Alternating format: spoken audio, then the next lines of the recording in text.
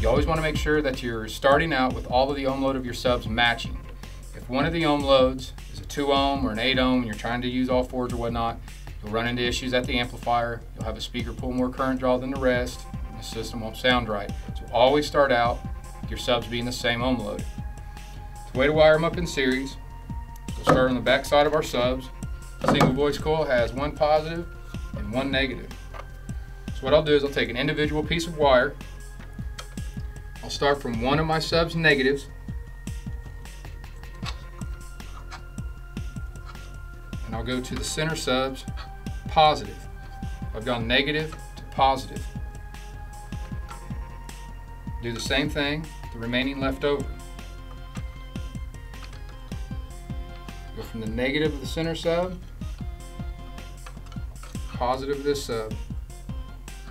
So negative, positive, negative, positive. It's going to leave me a positive and negative that are unused between this whole bank of three. This will work, power out just fine. Take the negative of my speaker lead that goes in my amp, go to the negative of this sub, positive, it's going to run to my amp, goes into this sub.